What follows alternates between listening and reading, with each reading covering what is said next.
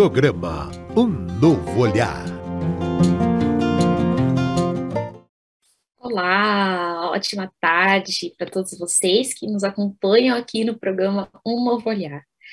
No programa de hoje, nós vamos falar sobre a grande onda de pedidos de demissão.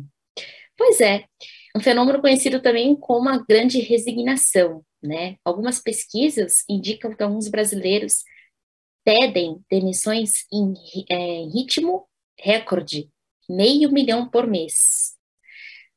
Pois é, nessa reflexão, juntos aqui nessa tarde, teremos a companhia da Lê, Alexandra Grassini e Delmar Franco.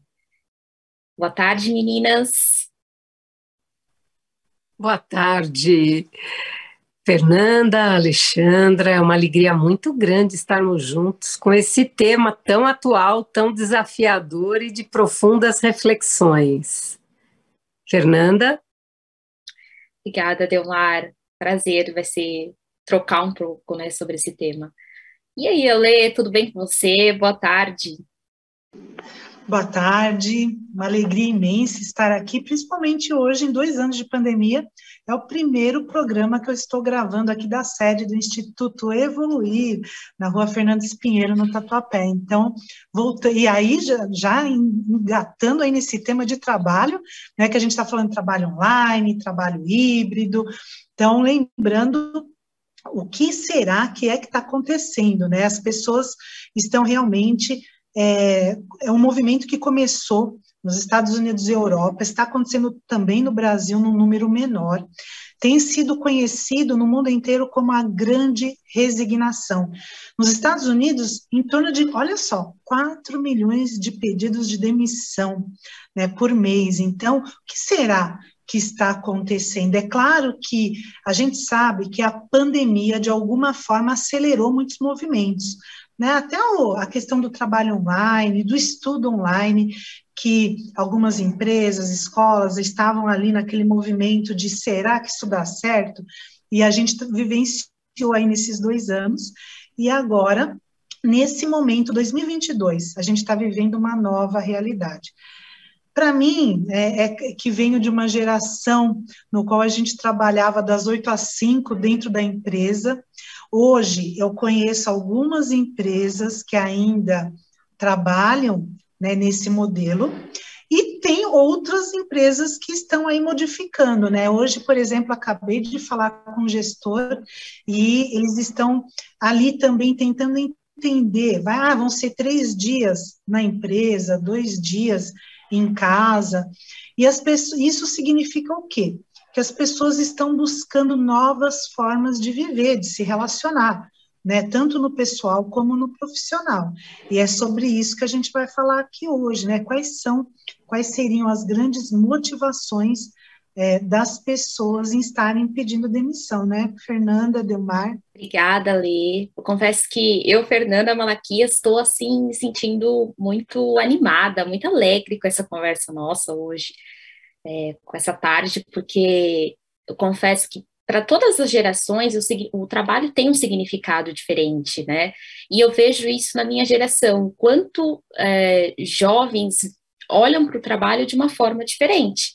Tem uma, tem uma relação com o trabalho, né? Até mesmo com a própria demissão, é, o desligamento tem também uma, um olhar diferente, né? Um novo olhar. Muito bem. Delmar, Quais são, você acha assim, Delmar, as possíveis causas que pode estar por trás desse fenômeno das ondas de demissões? As causas, eu vou dizer que, como eu gosto de olhar cada caso como um caso, cada demissão é uma demissão. Então, eu fiquei, eu fiquei assim, surpresa com 4 milhões por mês de pessoas pedindo demissão. E aqui no Brasil, 500 mil pessoas pedindo demissão. E quer dizer, pedir demissão, é, a pessoa não vai liberar o fundo de garantia, ela não tem uma série de, de direitos. Então, quando você me pergunta das causas, né, é uma causa para cada um que fez esse pedido de demissão. Agora, como a gente está conversando, generalizando, tem dois grandes motivadores. Um, muitas pessoas, a maioria, numa proporção bem alta, fogem da dor. Então, muitos estão pedindo a demissão porque assim já estão em crise de ansiedade, crise de fobia, estão com estresse, estão com doença de pele, estão com queda de cabelo, estão com enxaqueca, estão com baixa imunidade.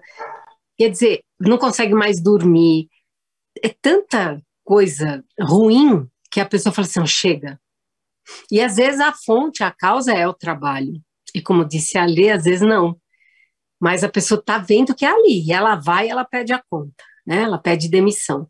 Lembrando do doutor Reinaldo, né, que falecido já há quase duas décadas, ele dizia assim: quando a pessoa já não está mais satisfeita onde ela está, começa agradecendo todo dia e já visualizando uma outra coisa melhor. Olha como ele era sábio. Por quê? Porque se você está mal e deixa ficar pior, e aí você fica com um sentimento ruim em relação à empresa, você, e daí você já sai numa vibração que não é legal. E aí, como é que você vai arrumar outro trabalho? Se você agradece todo dia, mas já sabendo que você não vai ficar nesse lugar, que você vai procurar outro, que você está com outras ambições, olha a diferença vibratória. Então, a maioria, infelizmente, acaba né, pedindo demissão por fatores negativos. E poucas pessoas, mas muitas ainda assim são muitas, elas vão porque elas querem um salário melhor, um ambiente de, de trabalho mais saudável, quer dar um upgrade na qualidade de vida. Essas são as pessoas que vão em direção ao prazer. E tem as que fogem da dor. No planeta, no momento, a porcentagem estimada, mais ou menos, dizem que é 70% foge da dor e 30% vai em direção ao prazer. E pelo que eu né, andei vendo na sua pesquisa, Fernanda, está indo por aí também. A maioria sai porque não está aguentando mais. Fala assim, eu vou ficar doente, eu vou ficar louca, eu vou ficar não sei o quê, eu vou sair. E aí a pessoa sai, pede demissão. Mas tem aqueles que falam, não, quero, né, eu quero um salário melhor, eu quero um ambiente de trabalho melhor, eu quero melhorar minhas relações. Então, se você está nessa, começa já né, visualizar esse outro lugar para você poder fazer essa transição com qualidade. É isso aí, né, Alê? Com certeza, uma coisa que a Delmar falou, né, que é fazer com qualidade, né? Esse é um grande ponto, porque como eu venho trabalhando há muitos anos, né, com transição de carreira, é um tema que eu amo trabalhar, e aí, quando eu olho para a minha própria história, né, eu já fiz transição de carreira, porque eu estava nesse estágio. Eu falei, ah, não aguento mais, não quero mais essa empresa, não quero mais esse trabalho. Eu fui lá, sem ter feito um planejamento, né, pedi demissão. E ok, pedi demissão, e aí depois eu falei assim, nossa, mas e agora? O que, que eu faço depois da demissão? Eu sabia o que eu não queria naquele momento, mas depois no pós-demissão eu falei, nossa, mas e agora? E aí foi todo um trabalho de reconstrução, ressignificação por isso. Quando alguém chega para mim aqui no Evoluir e fala assim, senta na minha frente e fala, Lê, eu não aguento mais, eu vou pedir demissão, então sempre peço para a pessoa calma. Primeiro você vai respirar, vamos entender a situação, e aí a gente vai entender que contexto é esse. E quando a gente fala de contexto, é entender todas as dimensões que a pessoa está passando. No trabalho, no pessoal, na saúde, nas relações, o que está acontecendo na vida nessa, dessa pessoa? Porque muitas vezes também tem esse ponto da insatisfação com a, o ambiente de trabalho ou com a profissão que está exercendo, e algumas vezes isso fica maior, sabe? Quando parece que fica mais difícil por conta de questões pessoais. Às vezes a pessoa está passando uma questão na vida pessoal que ela ela, aí ela fica achando que é tudo trabalho. Então, quando a gente faz um trabalho de ressignificação, de entendimento da situação, aí a pessoa passa a entender aquele momento que ela está, para poder aí sim tomar uma decisão consciente. E, e olha, gente, eu já vi acontecer de tudo. Teve gente que ia pedir demissão, aí depois é, ressignificou, ficou na mesma empresa, saiu, voltou para a mesma empresa. Teve gente que falou: não, gente, é essa empresa mesmo que eu quero ficar, porque agora eu estou me entendendo melhor, eu preciso fazer um curso, me atualizar. E teve gente que falou: olha, ok, nesse momento não é essa empresa, porém eu preciso de um planejamento financeiro, eu vou fazer uma transição pensada, vou começar a conversar com pessoas, como a Delmar falou, a visualizar, a conversar com pessoas, empresas, e aí sim, a hora que eu tiver uma segunda opção, aí eu posso me desligar. Lembrando que, né, falando de Brasil, né, a pessoa que ela trabalha sob uma condição CLT, quando ela pede demissão, ela é, perde alguns direitos ali, né? Então, assim, por isso que, principalmente nessa questão do, da condição financeira, da estrutura, ela precisa pensar para não ser levada, pensar e se planejar para não ser levada pelas emoções e, faz, e às vezes chega lá e fala, ai, não aguento mais, amanhã eu vou lá, Aí tudo bem, né? Pede demissão. Resolve um problema, arranja um monte, um outro, monte de outro problema, né, Fernanda? A sua fala me fez refletir, né, também o quanto hoje é, a questão do trabalho é uma discussão que atravessa é atravessada por várias coisas, né, várias outras questões. Então, o próprio esgotamento mental, o estresse, os altos índices de ansiedade. Hoje nós sabemos que o Brasil é, ele está assim no topo né, nos índices de ansiedade e depressão. Então, trazendo a, a nossa conversa mais para o campo da saúde mental, também pode, tá, pode ser um fundo, pode ser um, um essas questões de esgotamento mental, estresse, ansiedade, a própria depressão também, pode estar relacionadas também com, esse, com essa demissão voluntária, Delmar, você acha?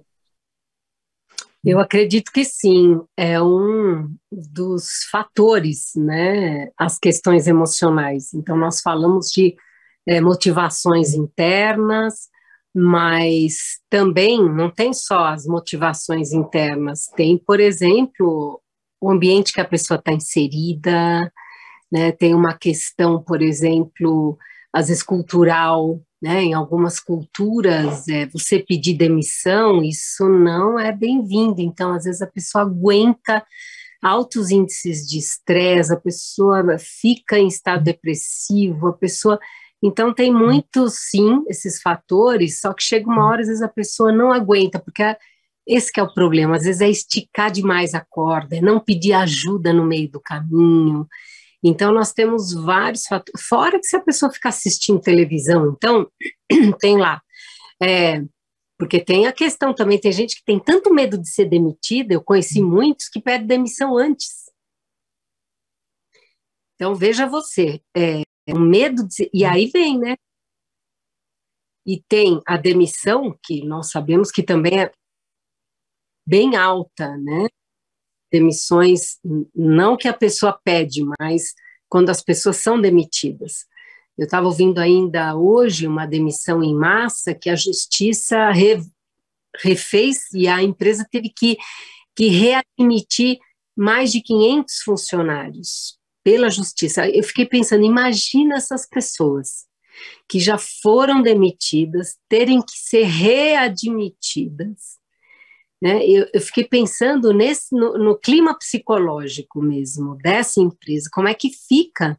Então, desses 500, quantos vão aguentar? Quantos vão ficar com medo? Eu falei, isso aqui é uma questão de tempo, né? esse desgaste, porque aí mexe muito quando a pessoa é demitida para alguns, por mais que todos que chegaram até mim falaram, Delmar, eu fui demitida. Eu falei, é, então agradece, você foi, você está com a consciência tranquila? Tô.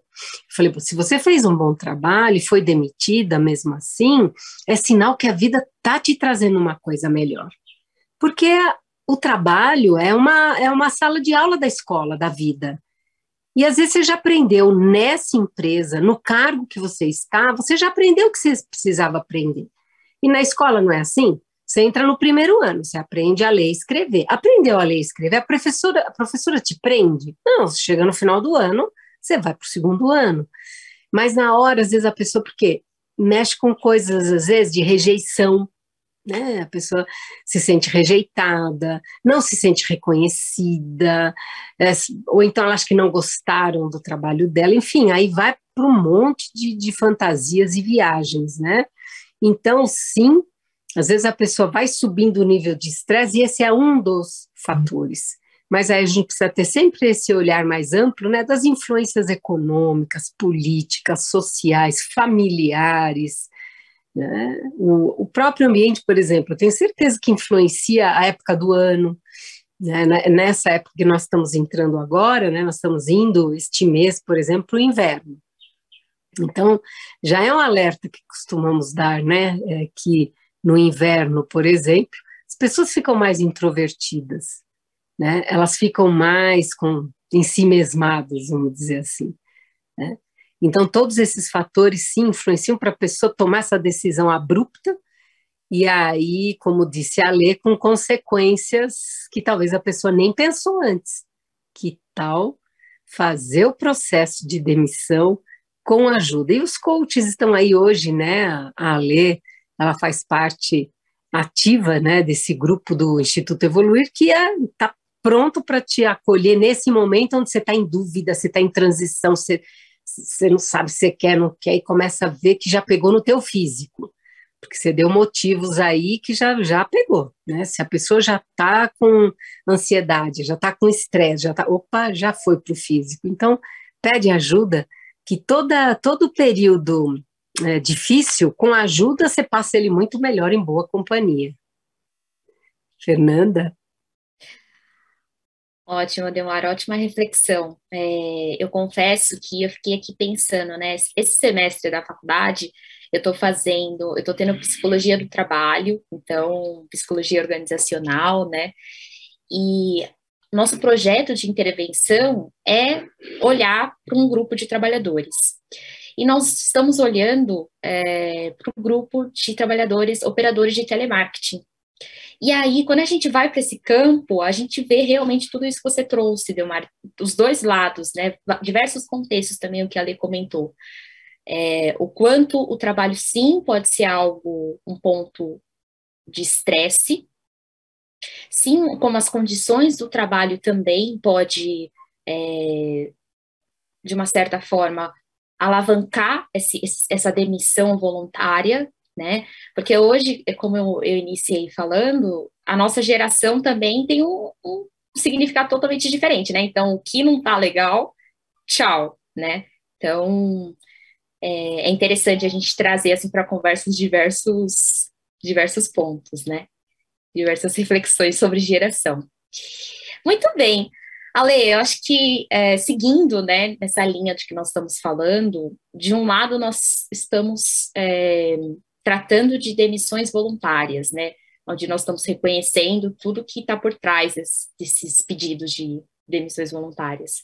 Mas do outro também tem as pessoas que são submetidas a esse processo de desligamento, né? E qual que você acha, assim, ali, a perspectiva que nós podemos oferecer para essa outra ponta da sociedade, assim, da, da realidade, né? É muito importante nesse ponto, né, Fernanda? Porque assim, a demissão, a pessoa quando ela passa por um processo de demissão, em maior ou menor grau, maior ou menor intensidade, é sempre doloroso, mexe muito com a autoestima da pessoa. Né? Então, independente da situação, em que ela esteja financeiramente, ela, ela eh, dói, né? Porque como a Delmar falou, né? Pega alguns pontos, às vezes, é um sentimento de rejeição, e a pessoa realmente vai para um lugar de baixa autoestima. Então, primeiro passo, né, quando a gente trabalha com uma pessoa que ela, ou vai ajudar uma pessoa que ela passou por um processo de demissão, é trabalhar a autoestima dela, né, ajudá-la né, a se colocar, a se entender naquele contexto, olhar para a dor, porque é uma dor, né, acho que é importante reconhecer isso. A gente tem falado desde o início da pandemia bastante aqui nos programas da TV e da rádio, né, daquela curva da mudança da Elizabeth Kluber-Ross. Então, que essa curva ela é trabalhada com pessoas que passam por mudanças, por processos de luto, e a demissão é um luto. Né? É um momento ali da sua vida que teve uma cisão. Então, tem o um momento do choque, da negação, da raiva, né? até chegar na aceitação daquela situação. Então, tem um processo.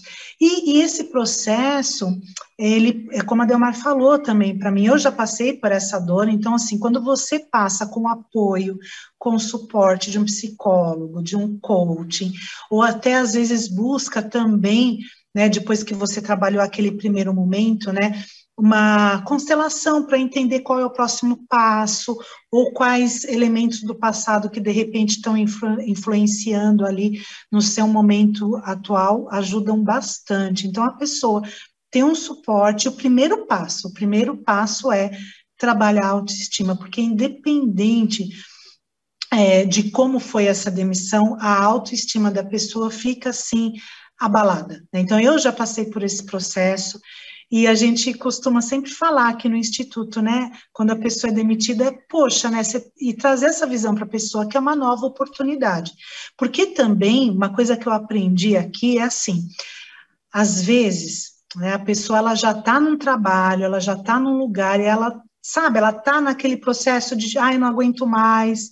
Ela levanta, a alma dela não vai, vai chega o corpo lá. Né? Chegou o corpo, a alma dela ficou em casa, dormindo, relaxando, mas o corpo ela sabe que está no trabalho, né? A pessoa chega, sabe? Então falam com ela, ela está ali, mas ela não está presente, né? E aí a empresa vai e manda embora. Então, é, muitas vezes a pessoa, né, ela ela está num trabalho, ela está infeliz. Então, é importante quem estiver nos escutando agora, que está tá trabalhando, está se sentindo muito triste, muito infeliz, está percebendo que é só o corpo que está indo para o trabalho, busca ajuda, né? Uma conversa também com aquele que passou por um processo de demissão também, buscar ali para se reconstruir, por quê? Para a pessoa poder buscar um novo trabalho só depois que ela trabalhar a autoestima dela, que aí ela, minimamente, ela se estabiliza, para também entender as lições daquele, daquele processo, daquela jornada, para ela poder se reestruturar e dar o próximo passo, senão fica muito difícil dar esse próximo passo em direção a uma nova profissão, um novo trabalho, uma nova oportunidade, né? Ô, Ale, acho que já pegando o gancho do que você está trazendo, Ale, é, Delmar, eu gostaria de direcionar uma reflexão assim para você, porque acho que alguns de nós, né, ouvimos em algum momento quando a gente vai tomar uma decisão, a pessoa fala assim, olha, faz um balanço, pondera os benefícios, os prejuízos, né? E, e falando em relação do trabalho, qual que é a importância de fazer essa reflexão interna também, né, sobre esse processo dessa relação de benefícios, prejuízos, esse balanço? Ela é muito importante, porque aí você vai estar tá fazendo com que a mente e o coração, né, o, o, cérebro e o coração, eles se aliem, se deem as mãos. Por quê? Quando essas decisões são muito intempestivas, às vezes a pessoa se arrepende depois, né?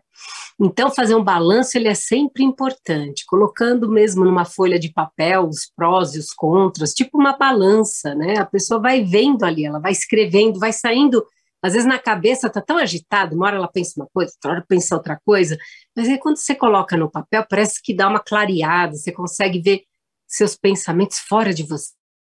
Você pega uma folha A4, passa uma risca no meio e você coloca ali, né? Quais são as vantagens de ficar no lugar onde eu estou trabalhando e quais as vantagens de sair, né? Sempre olhando para as vantagens, o que tem de bom, porque o conflito está sempre aí.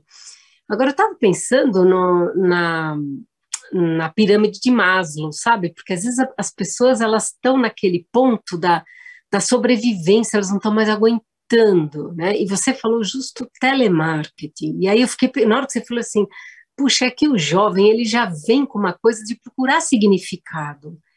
E eu fico pensando qual que é o significado de ficar seis horas no telefone ouvindo pessoas e tendo que dar respostas mecânicas, é mais fácil colocar mesmo uma, uma mensagem eletrônica, porque são pessoas jovens que não vão resolver aquela questão que a pessoa está vindo buscar, não vão resolver. Então, essa pessoa começa a se sentir assim, mas qual a importância do meu trabalho? Qual o significado desse trabalho para mim, para a pessoa que está ligando aqui, né? Para a empresa. Então, eu sinto que sim, os jovens vêm buscando mais isso, né? Diferente, que é o que você falou, que vem mudando aí há várias décadas. Então, trazer para essa reflexão que você está trazendo, né, nessa balança, nessa ponderação antes de tomar uma decisão, né, começar por esse ponto, mas qual é o significado desse trabalho? Né? Porque será que justifica adoecer? E já fazendo a ponte entre o espiritismo e o que nós estamos falando, Kardec perguntou para os espíritos, né? É, o que, que é trabalho? E a resposta foi muito clara: toda atividade útil. Então, se sentir útil, né, que é um pouco né, na maneira dele no século XIX, é, no século XIX trazer esse ponto, né? eu estou sendo útil, quer dizer, tem significado? É quase a mesma coisa né, no sentido, né, nessa, né, dessa palavra. Então, lembrando de Maslow, eu lembro que primeiro, assim, o trabalho ele, ele auxilia na sobrevivência, ótimo. Ele traz segurança interna, externa, o trabalho num lugar seguro, inclusive fisicamente, né, porque tem pessoas que se submetem em ambientes de insalubridade, e aí eu fico pensando, é, são questões, né, para olhar de tantos ângulos, né? E aí esse trabalho ele me ajuda na minha autoestima, né? será? Porque tem pessoas também que estão sofrendo abusos dentro de trabalho e não estão percebendo, né? Então tem tantos, tantos pontos para serem, é, como você falou, né, analisados antes de tomar uma, uma posição mas importante levar todos eles em conta. E às vezes, o que eu digo é quando você está ali no meio, já está no meio de uma tempestade, né? Porque nós estamos falando de pessoas que estão tomando a decisão de se demitir voluntariamente. Né? E se 30% é a média que está indo já em direção a, a esse significado maior, né? Então, nós estamos falando com esses 70 que estão agoniados. Então, dentro dessa sua agonia, né, pede ajuda pede ajuda porque vai acontecer esse balanço que a Fernanda falou. Né? Um profissional, primeiro que ele está neutro, então ele vai te ajudar de um lugar neutro. Você vai perguntar para sua mãe, ela vai ter uma opinião. Você vai perguntar para o seu pai, vai ter outra. Vai perguntar para o irmão, é outra. Para o vizinho, para o namorado, para a namorada. Pra... Cada um vai ter uma opinião. E o que você está precisando é de opinião ou de uma análise? Uma análise profunda que vai fazer uma reflexão, que daí quando você toma a decisão, ufa, porque todos aqui já tomamos decisões e nós estamos falando de demissões voluntárias, no, na raiva, ou então, porque não aguento mais, estou por aqui, eu estou por aqui, eu vou e tomo a decisão e pronto. Todo mundo já tomou essa decisão. E todos já também tomam, peraí, vou pensar, eu vou analisar, me dá um dia, deixa eu dormir, né? Deixa eu ir com essa questão para o travesseiro, que aí eu peço à noite, eu peço orientação, que no sonho, e babá, e aí, como é que você acorda? Então você vê que são decisões diferentes, né? Então, pede ajuda, né? pede ajuda de pessoas que sabem o que te perguntar, sabem como te ajudar a refletir para tomar uma decisão. É isso, Fernanda. Obrigada, Deomar. É, bom, então, como nós estamos falando né, de ajuda, eu já vou aproveitar, galera, para reforçar um pouquinho a parceria que nós, equipe do Instituto Evoluir, temos com a FEAL, né? E lembrar que os sócios do Clube Amigos da Boa Nova têm 15% de desconto em todos os serviços do Instituto Evoluir. Olha que delícia. Então, lembrando que o Instituto Evoluir voltou, retornou presencialmente, integralmente, todos os dias da semana. Então, das 9 às 20 da noite, estamos lá prontos e abertos a serviço aí desse suporte, né, que nós estamos falando aqui também, né? É, e deixo aqui, então, para você que está nos assistindo um convite especial. Para você fazer parte dessa nossa rede de amigos que compartilham bem aqui pela Rádio Boa Nova e pela TV Mundo Maior. Então, ajude-nos a manter essa programação no ar, né, que auxilia você e tantas outras pessoas. Você pode estar se perguntando aí, mas Fernanda, como eu posso ajudar? Quais são as maneiras que eu posso ajudar? Ó, você pode ajudar por duas formas.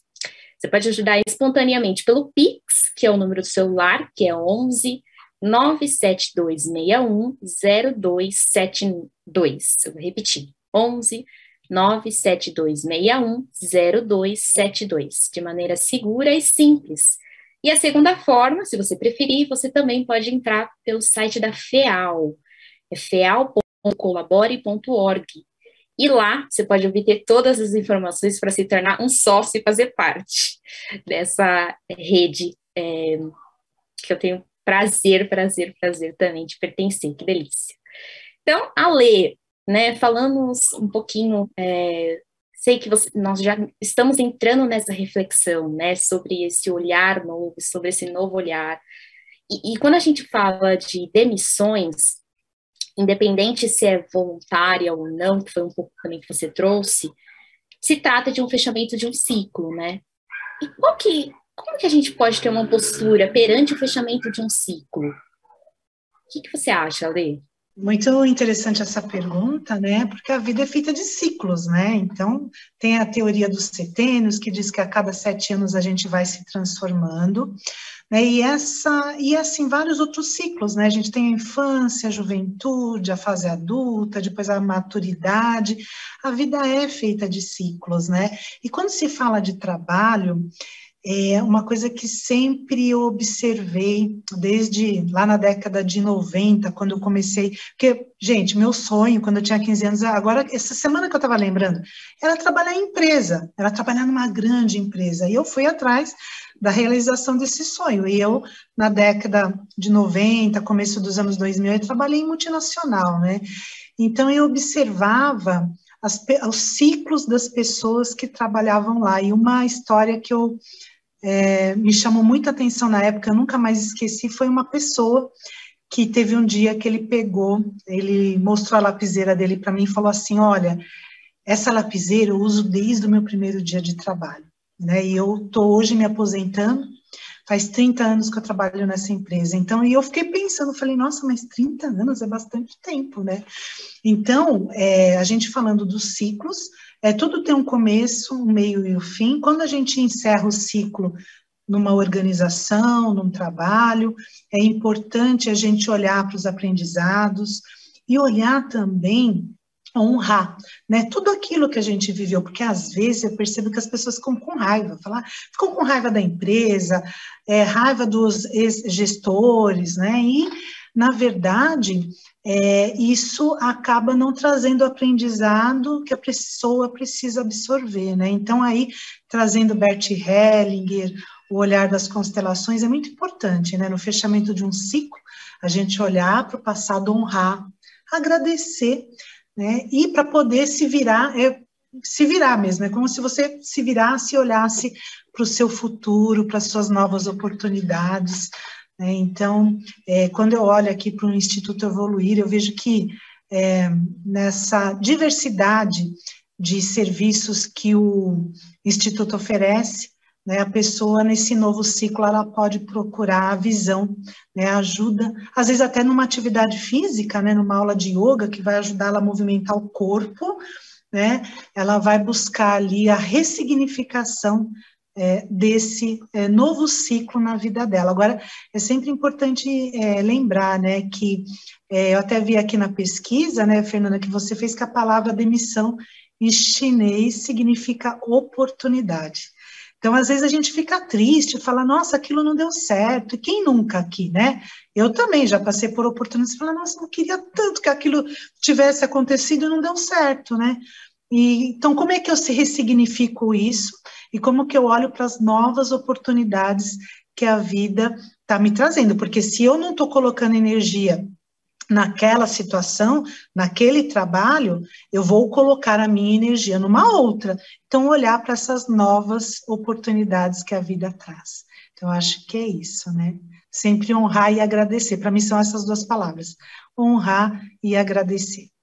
Que lindo, Ale. Essa reflexão, Ale, que você puxou, me fez pensar no, nesse trabalho. Conforme nós fomos conversando com a equipe, é engraçado que nós fomos vendo diversas formas de reagir no pós, né? Então, é, no pós que eu falo, pós-demissão, às vezes da primeira experiência deles, né? Ou de uma outra experiência com o trabalho.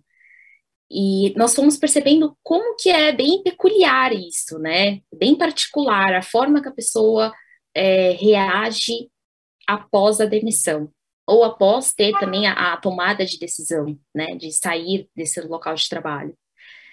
E muitos nós vimos que precisa desse suporte, precisou, recorreu a esse suporte terapêutico, foi atrás é, de cuidar da saúde mental, foi atrás de lugares que pudessem dar esse suporte para eles. Então, que nós estamos falando aqui, gente, de verdade, eu posso falar para vocês, são dados que nós fizemos a pesquisa de campo, é verídico. É, de fato, é, a necessidade de ter esse olhar, né, para o cuidado do trabalho com a nossa saúde. E aí, Delmar, já partindo para esse lado, né, falando de como nós podemos agir após a demissão, seja ela voluntária ou não. E, e como, de certa forma, o Espiritismo também pode nos ajudar em relação a esse processo. Bom, primeiro é sempre antes, durante e depois se conectar com a espiritualidade. Eu acho que esse é um ponto fundamental. Esteja você em crise ou não, se você está bem, você se conecta para agradecer, pedir proteção todo dia no seu trabalho. Né? Se você está em dúvida, a prece ajuda muito para você poder também tomar essa decisão. Nós falamos da sensação física, falamos também de procurar uma ajuda profissional e tem a questão espiritual que está sempre presente, e a prece sempre disponível, né? E os anjos de guarda também. E aconteceu. Então, como é que nós podemos olhar? Seja você te deu cinco minutos, tenha você planejado ou tenha você sido demitido. A primeira coisa é olhar, porque lembrar daquela curva da perda, né? Muitos ficam negando, né? E aí a primeira coisa é se dar um tempo, se você puder. Tem pessoas que nem têm esse tempo. Às vezes a sobrevivência está batendo na porta e a pessoa já precisa encontrar outro trabalho e não tem muito tempo para refletir.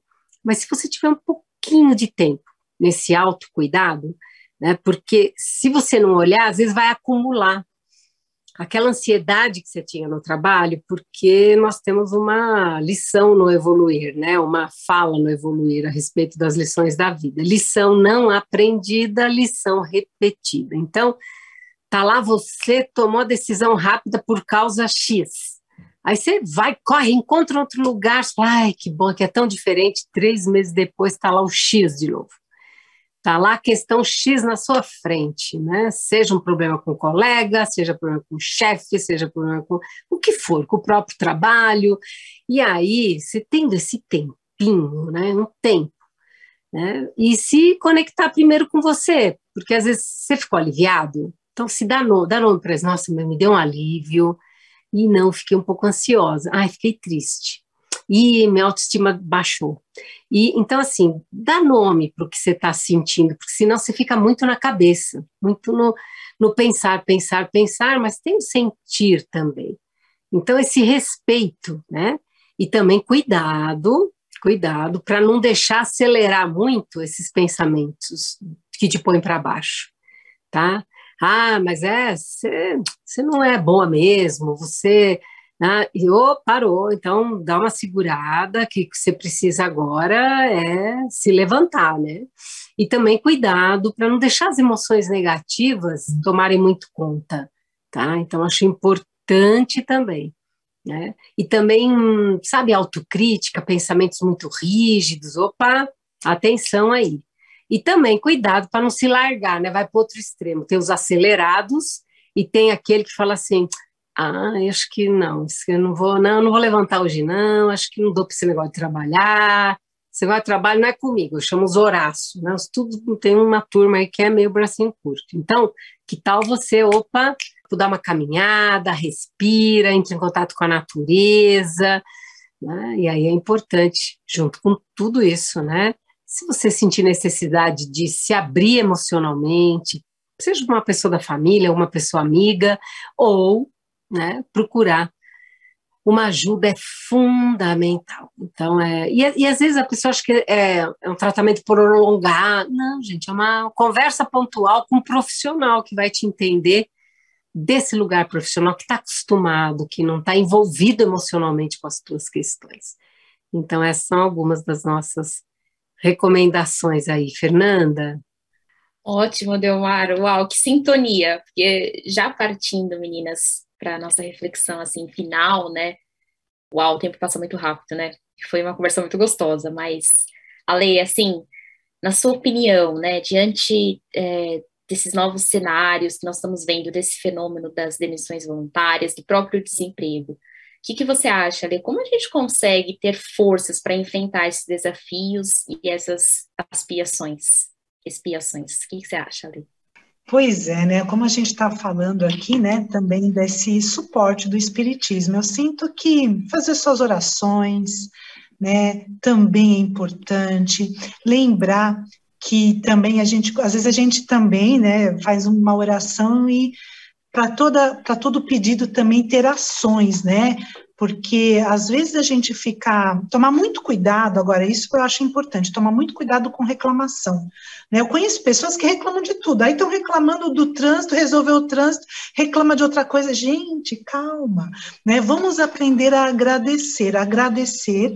Agora, e nos momentos de dor, que perceber que está muito difícil mesmo, buscar ajuda, né? Porque muitas vezes a gente precisa mesmo é, de um suporte externo. Agora eu vejo que as orações, tomar cuidado, né? É, hoje eu escutei uma, um vídeo que falava assim: é, não fale aquilo que você não quer, não, fa não, faça decretos do que você não quer que aconteça. Às vezes a pessoa fica falando, a gente acredita que linguagem cria realidade, né? E aí indicando, né, o livro do Bert, meu, meu trabalho, minha vida, que é lindíssimo, e duas séries.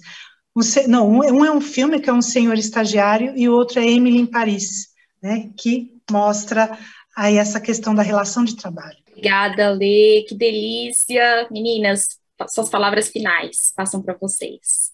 Delmar? Eu lembrei de um caso que aconteceu essa semana, que a pessoa pediu, a, fez a demissão voluntária, e ela entrou numa euforia, e depois ela foi para o pico e caiu. Ela falou, olha, eu tô louca. Eu falei, não, isso é, sabe como chama? Você entrou, essa euforia, você inflacionou, aí veio a deflação. Então, para tudo tem jeito. E eu encerro com a frase de Jesus, meu pai trabalha, eu também trabalho. Obrigada, Delmar. Ale, muito obrigada eu que agradeço, Delmar, Fernanda e a toda a equipe técnica da rádio, da TV. Uma alegria, uma gratidão estar aqui. Obrigada. Meninas, muito obrigada. Quero agradecer toda a equipe da produção do programa Novo Olhar, Thaís Kemenguele, Bruna Paz, Dina Prata e toda a equipe técnica. Muito obrigada, que delícia foi compartilhar essa tarde com vocês. Gostoso demais. Obrigada, meninas.